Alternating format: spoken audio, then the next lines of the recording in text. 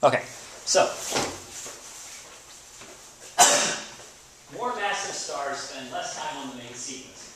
So consider a star cluster, a bunch of brothers and sisters. They're all born at the same time. It's a litter, if you will, uh, where there's there's typically a few hundred, maybe even a few thousand puppies, so to speak. But it's all a litter of stars, all born at the same time.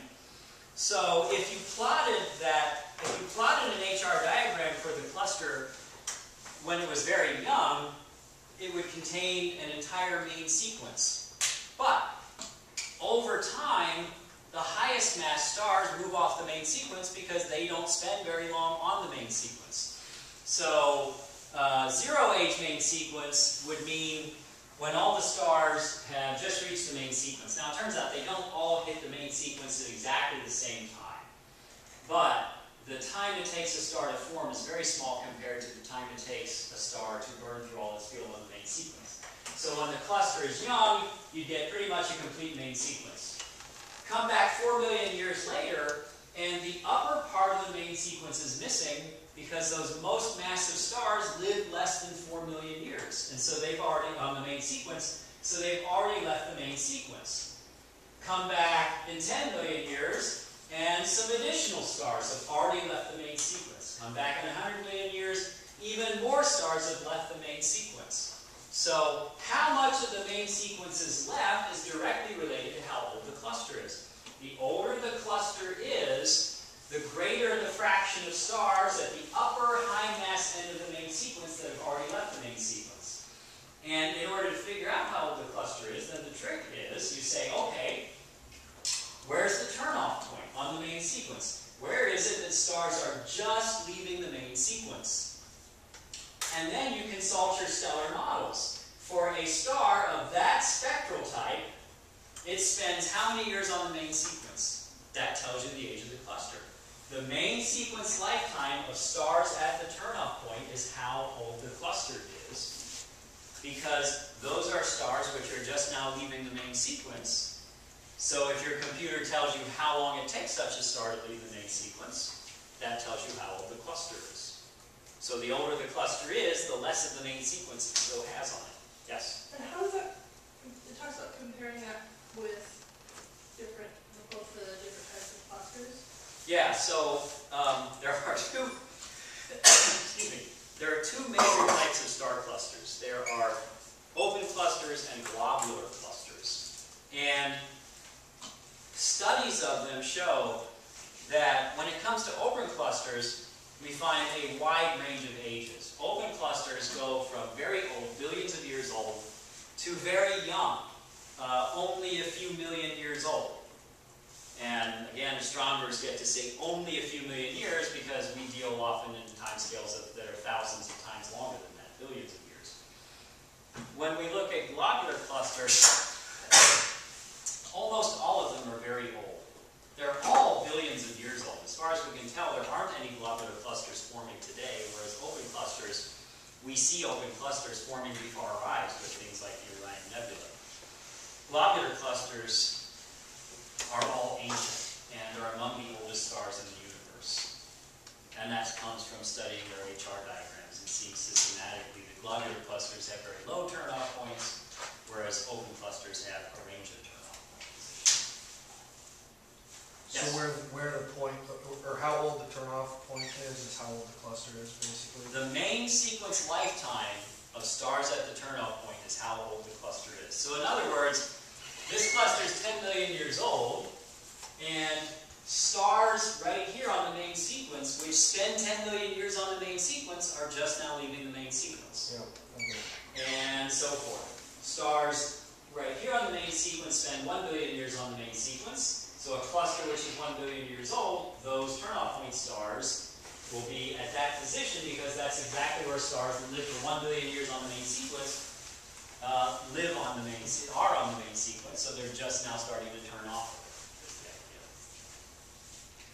So locating the turnoff point tells you how the cluster is. It's kind of like if you had a forest full of trees, and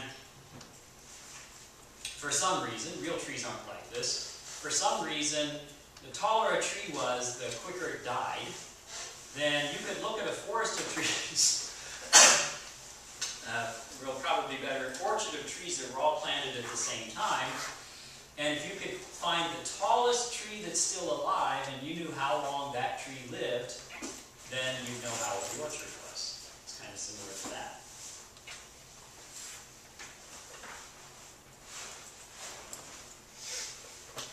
Yep. Uh, how do you find mass from the eclipsing binary stars? So, uh, you need to know two things. So, we've got Kepler's third law, which tells us that, there we go, we have Kepler's third law, which is Kepler's third law tells us that the sum of the masses is equal to the cube of the size of their orbits added together, the semi-major axes added together, divided by the period squared, where the masses are in terms of the sun's mass, the semi-major axis in terms of AUs, and the period is in terms of Earth. So we have a way to figure out the sum of the masses from our observations because the period comes from looking at how long it is between eclipses of the same type. And we get the semi-major axis sizes from doing the Doppler shift measurements and seeing how fast they're moving and using the fact that if it's a circular orbit, the radius is equal to the semi-major axis. So the circumference, 2 pi times the semi-major axis, is the orbital speed multiplied by the period. How fast the star is moving times how long it takes to go once around. And then the other piece is that the ratio of the masses, m1 divided by m2, is equal to the flipped over ratio of their speeds, v2 divided by v1. And again, the Doppler shifts tell us how fast the two stars are moving. And if we know both the sum of the masses and the ratio of the masses, that's two equations and two unknowns, and you can solve for the individual masses in that case. So we have everything we need with eclipsing binaries because the fact that they're eclipsing tells us that we're looking nearly in the plane of the orbit. Uh, so that tells us that the maximum Doppler shift corresponds to the stars moving straight towards us and straight away from us, and it's giving us the speed directly. So we can figure out what v is from that, and then we can figure out what the orbital period is from looking at how long it is between primary eclipses, for example. One primary eclipse to the next is one orbital period. Does that do it for you, or did you want? me to say I more? think so. Okay. Any, any additional questions about that? Yes? Uh, So, uh-huh. you- I probably missed it well when I was typing. So A is what? The semi-major axis. Semi-major. Semi-major axis, yeah, so. mhm. Right. Yeah, the period is the same for both stars, so really there's two relations here. In other words, the Doppler shift for star 1 tells me how fast it's moving. So 2 pi a1 is v1 times the period. And for the other star, its Doppler shift tells me how fast it's moving. So 2 pi a2 is v2 times the period. And are those all the same units? Uh, we can put them all, yeah, we want to put them all in the same units ultimately. So one can do it in terms of kilograms and meters and years by having a 4 pi squared over g in front of all of this stuff. Um, or some, if there's a 4 pi squared over g somewhere, I can figure out where. But in the end, it's most convenient to put things in terms of AU's years and astronomical units, and then, and masses of the sun, and then to say, yeah, AU's masses of the sun and, and years, because then the 4 pi squared over g becomes 1, and you just get this formula out. Sadly, though, we didn't do any examples of that calculation. Maybe I will next time. But,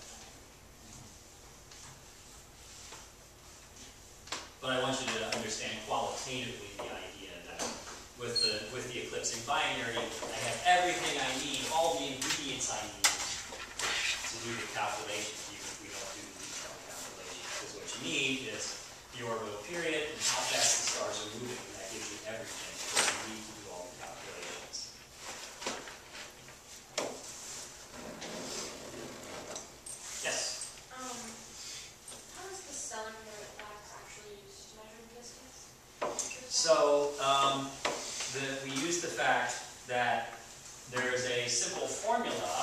that the distance to the star in parsecs is one divided by the parallax in arcseconds. So once you've measured the parallax, half the angle by which the star shifts back and forth on the sky over the course of a year, once you've measured that and expressed it in arcseconds, plugging into this formula tells you the distance to the star. And it's just reflecting the fact that the further away the star is, the smaller it shifts back and forth. That's why it's a one over relationship like that. And what do you probably give us the parallax and arc seconds for the grade? Yeah, I could say something like, you know, if the star's parallax is 0.1 arc seconds, how far away is it? And that's, that's easy enough. 1 over 0.1 is 10 parsecs in that case. I assume you're going to write formulas on the board.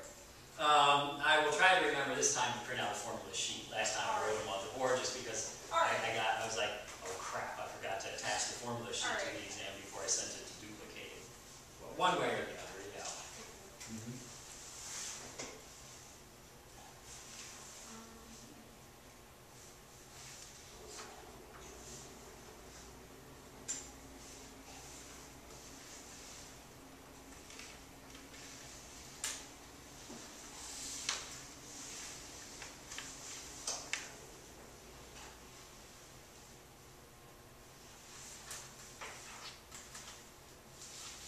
So we will get distances, or the, the parallax in arc seconds, or will we have to calculate that? Well, um, so it's not something that you can calculate really, it's something that you have to measure. And I don't think I'm going to give you a series of photographs and a plate scale and ask you to use your ruler to estimate the parallax per se. But you should understand the concept of parallax as described in the book and in the lecture tutorial where they had you draw uh, the, the lines of sight from the Earth to the star at different ends of Earth's orbit and what's that, what angle represents the parallax and all that kind of stuff. I do want you to understand that concept. So more qualitatively, I think. Mm-hmm. So for the proton-proton chain for extra credit, do you Mhm. just want us to copy like the final product or do you want us to split it? into- Um, I would want you to, so, um, Did we even draw the? Yeah, so in other words, the, the extra credit would come from either completely, this is not the right PowerPoint, either completely drawing out this, I'm a little more concerned with getting the stuff that's not extra credit. yeah, yeah, but if you want, if you're, if you're going for the gusto and getting that point, you can draw this, right, you literally draw this, or you could write it out in terms of one H plus one H, uh, become, or proton, well, you know, like, uh, we, we did write it out in terms of, you'd say like a, uh, one H plus one H becomes two H, which stands for deuterium, plus electron, uh, plus, uh, positron, plus neutrino. Uh, Can we just write the trainer? what's that? Can we just write the trainer? Oh, why not just write a cute little Greek nu? That's not so hard, is it? All six meters, you're, can we just? Yeah, but it doesn't look like the difference in Just new saying. or AU. Ah, come on, write a, write a freaking nu, it's not so hard. So don't do the overall reaction. You want us to have it split. Well, so, so in other words, this is not extra credit. This is know this. This is not extra credit. This is just know this. All the crap comes together. Right, yeah. Yeah, right. Only just saying a bunch of crap comes together and you get helium does not constitute knowing that reaction, just, just saying. Um, now, now, if you drew this, I would give you credit for knowing the net reaction, right? If you said, you know, if, as long as you told me that's not a circle with a P in it, really, it's a proton, you know, you'd have to tell me what your symbols meant. Um, or you can just say four H's become one helium plus energy. That would work too. Because I'm really, I'm not even requiring you to say gamma ray neutrino, you know, how many gamma rays, two gamma rays, two positrons, and two neutrinos. It's good enough to just say energy for the net overall reaction. You seem to be in favor of that. Yeah. Uh-huh.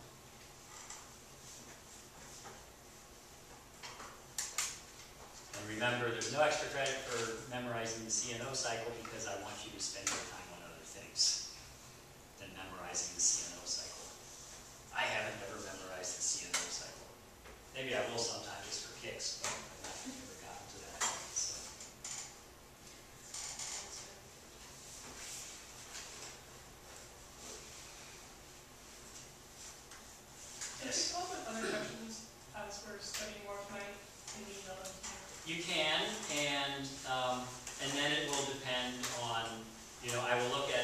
say, would this take me an hour to explain, or would it take me, you know, three minutes to explain? And, and it'll be kind of based on that, because, and, and, you know, I mean, obviously, it wouldn't take me an hour to explain face to face, but there are some things where, you know, I'd have to refer to a picture, in which case it would become really elaborate. So just give it a try, you know, and most of the time, the answer is, yeah, I'll, I I can explain it, but every once in a while, there'll be something like, no, no, you really need to, like, you know, see me about this, it's just too long to try to explain without pictures. or something. Mhm. Um, for the mass luminosity relation, it's bigger mass means more luminous. Bigger mass means more luminous On the sequence. on the main sequence, and realize that the luminosity rises faster than the mass does, right? In other words, doubling the mass does more than double the luminosity, which is why more massive stars live less time, because increase, it- the, the luminosity increases by a much greater factor than the mass does.